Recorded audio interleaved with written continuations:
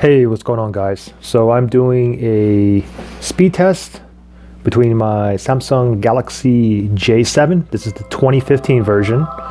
And this one here is my Samsung Galaxy J5 2016 version. And what I'm going to be doing is running the Antutu test, which I am running right now. And then after I see the scores and everything, then I'm going to do another speed test using Geekbench 4.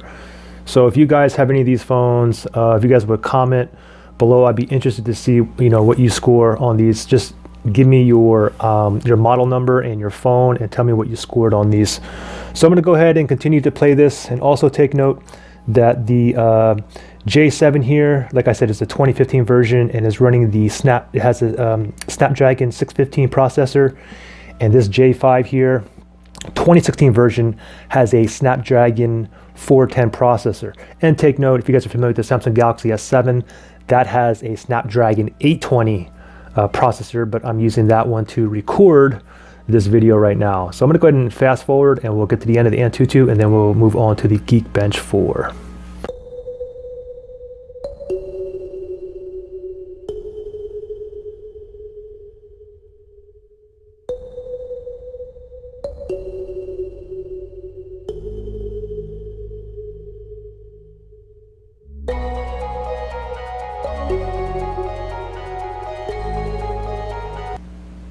Okay, so for this Antutu test, you can see that my J7 has a score of like 34, about 34,900 versus my J5 2016 version has uh, just about 28,300. And you can see the model number here too. This is the uh, the J5 here is the SM-J5108 and on the J7 here is SM-J700P.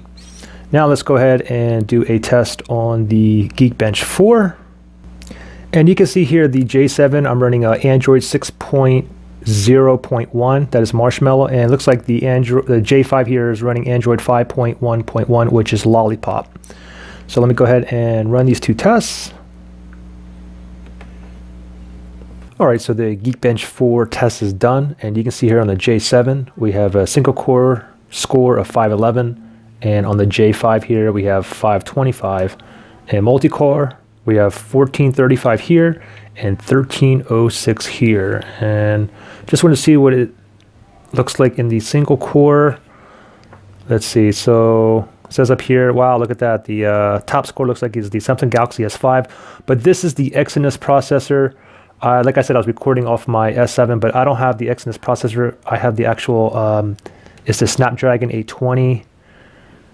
Oh, wow, okay, so it's down here. Here's my Snapdragon 820 on the S7. That's what it scores. Anyways, you can see again, single core 511 here, 525 here, and multi-core 1435 here and 1306 here. And if you guys have any of these phones and you're running any of these tests, again, let me know what your scores are. Make sure you put the model number in.